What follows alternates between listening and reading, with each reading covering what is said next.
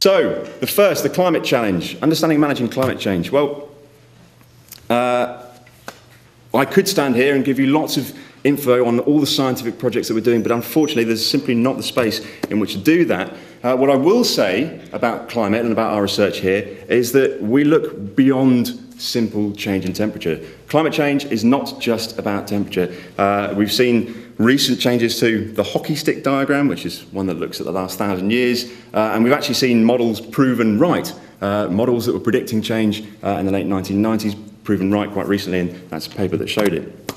I wanted to look at another part of climate change, and that in particular is hydroclimate, what changes to water, water resources.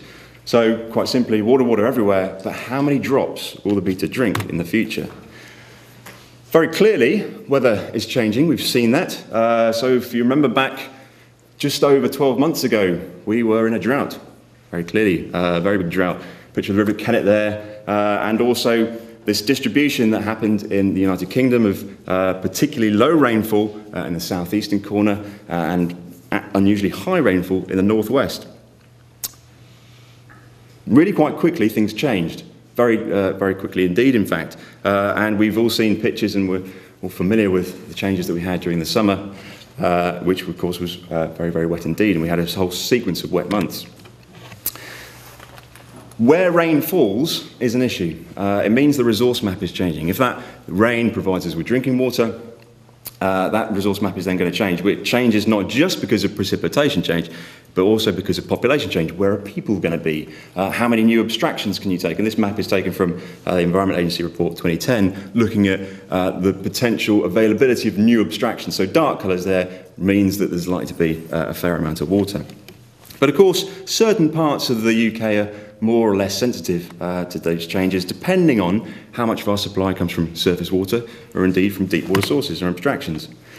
So, focusing on the research that we do within uh, SOGES, within um, the Centre for uh, Environment and Society, we are really interested in uh, jet streams and where water gets delivered, essentially, where storms go and where they have gone in the past, uh, and what controls uh, those particular storms. So, Peter Gibbs there, with a lovely uh, graphic next to him flying out from his hand, looks like uh, Harry Potter almost.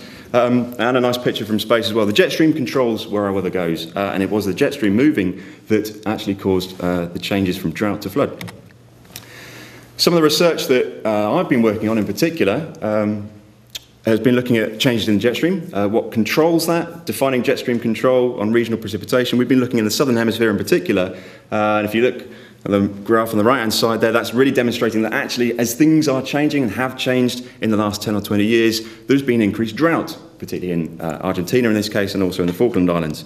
Um, this is a nice example. It's a very good place to go and have a look for changing jet stream. One of the key things we're looking for in the future is potentially how we might uh, see that uh, in the Northern Hemisphere as well. So a key challenge for us for future grants, future research, and future work with stakeholders is to define those challenges, on those changes, sorry, on the same time frame, so 25-year planning, uh, and the same space scales as regional resource management. And that is what we are looking forward to doing next. And with that, I'll pass on to my next uh, person, please.